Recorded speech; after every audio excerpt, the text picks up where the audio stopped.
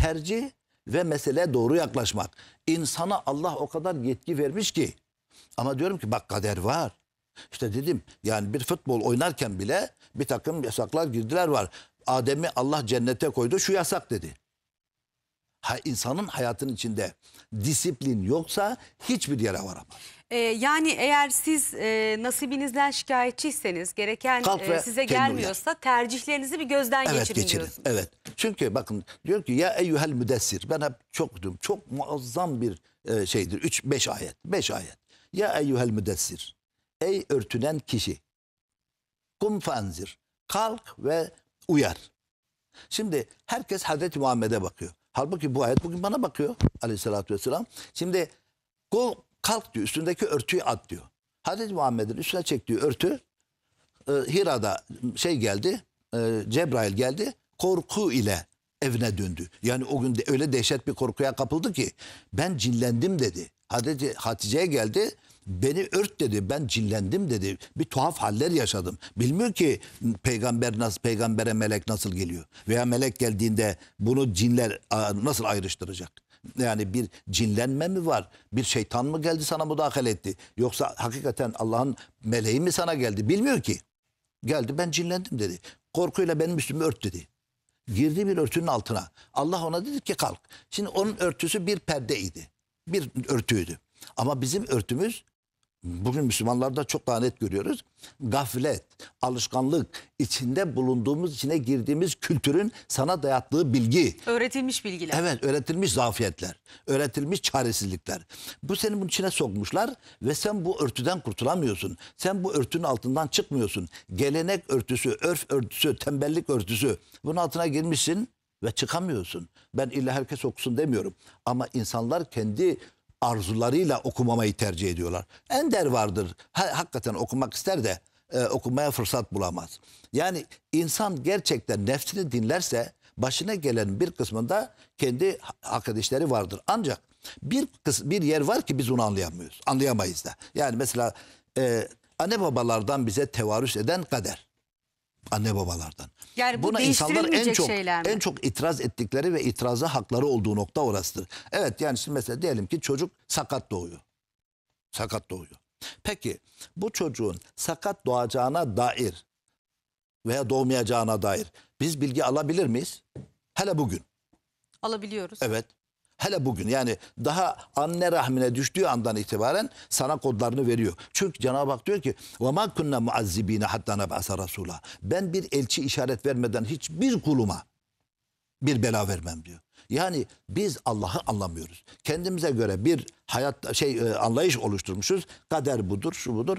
Bütün suç Allah'ındır. Peki şu mu Mesela yani öyle hocam? bakıyoruz. Başınıza bir bela gelirse aslında Allah onun öncesinde size mesajı gönderiyor mu diyorsunuz? Evet. Nasıl? Biz niye Her algılayamıyoruz? şeyde, her yerde. E biz niye algılayamıyoruz? E tamam işte sen algılayamıyorsun çünkü kendini cahil bırakıyorsun. Çünkü kendi hakikatine bakmıyorsun. Çünkü öğrenmek istemiyorsun. Kolay geliyor. Bir şeyin e, bir kitabı var. E, Doktor M. Stock Peck diye bir adam.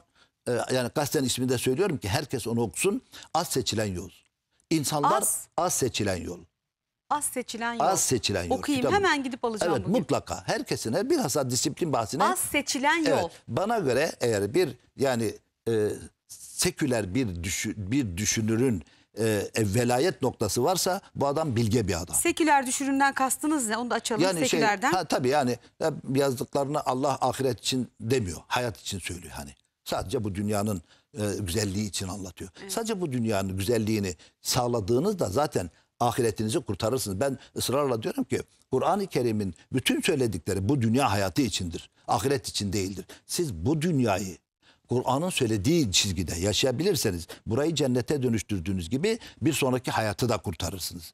E, O yüzden mesela şey Yunus Emre diyor ki var git e, var im- git iman ve din sana lazım ise iyi doğurur bu dünyada diyor. Sen bu dünyada elini kolunu tavs tamam yapmazsan, fikrini, zikrini, zihnini tavs tamam yapmazsan cennete dolsan bile körsün, sağırsın.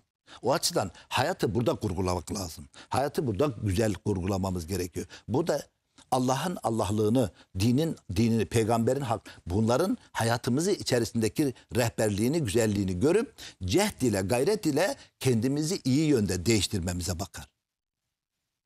Bu bir hakikattir. Bunu anlatamamaktan bizarım. Zaten anlatamayacağıma dair bütün 1500 senelik veya insanlığın macerası tarihi şahittir. Çünkü insan az olanı seçiyor. Kur'an-ı Kerim diyor ki وَمَا اَدْرَاكَ مَا الْقَقَبَ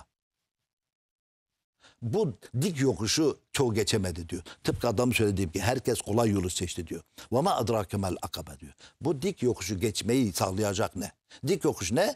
İnsanın topraktan gelen şu hayvansı varlığın kendisini Allah'a layık bir Adem halde getirebilmesi çabası. Bu dik yokuşu geçmediler. Yanaşmadı kimse o dik yokuşa. Neyle ulaşacaksın?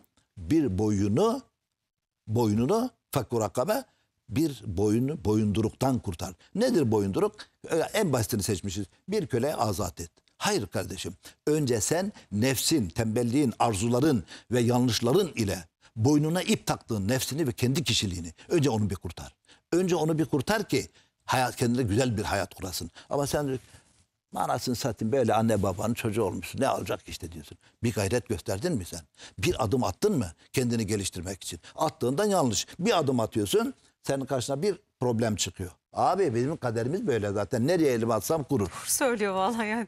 Şimdi- Doğru. O kadar çok bundan şikayet eden Evet, var ki neden? kaderim böyle. Çünkü Hatta kendisi bir adım bir laf atmadı. var. Der, derler ki hep büyüklerde ön tekerlek nereye giderse arkası da oraya İşte gider. bunlar bunlar ön yargılardır. Yani öyle sayısız öyle ön yargılar var ki ben size çıkarttım Kur'an'a da aykırıdır, insanlığa da aykırıdır. Bir yan işte değişler var. Şimdi ön teker nereye gidiyorsa o da oraya gider. Doğrudur. Anne baba ne yapıyorsa çocuk onu takip eder. Anne baba bir gayret, bir cehd ortaya koysun çocuk da yapar. Hatta böyle resimler vardır. Ee, iki adam konuşuyor öyle baba elini arkaya bağlamış gidiyor. Arkadan çocuk da öyle yapmış öyle gidiyor. Bu çocuk için söylenir. Kader için söylenmez. Yani bu kader evet burada çok güzel sorular hazırlamışsınız. Çok Vallahi güzel. tebrik ediyorum. Ama siz çok Ama güzel anlatıyorsunuz. Bir şey söylemeden geçemeyeceğim. Şimdi diyorsunuz ya değiştirmek, değiştirmeliyiz. Doğru aslında biz anne babamızın hayatını yaşıyoruz. Hatta şunu söyleyeyim size. Anne babanın annenin öğrettiği damak zevkiyle yaşıyorsun. Evet. Hastalıkları aslında Evet. annen sana veriyor. Bravo, Annen bravo. sana ne kadar tuzlu yemek yediriyorsa sen ileride o kadar tansiyon bu hastası kadar. oluyorsun. Bu kadar. Tam da bunu söylüyorum. Çok Diyorum haklısınız, ki, doğru. Tercihler, tercihler mesela diyor ki ya diyor şu yemeği çok seviyorum. Çok güzel. Annemin yaptığı gibi. Gidiyorum yiyorum. Bakıyorum. Yani Ama İşte, annesini ha, ama o neden? Çünkü anne onu öyle yaptı. Onun damak tadı ona alıştı. Sanki bütün kanunlar, bütün şeyler o damak tadını hak bilecek. Yok yanlış. Bakış açınızı değiştirin Evet, diyor hocam. Sadece tamam, bir şey güzel. söyleyeceğim.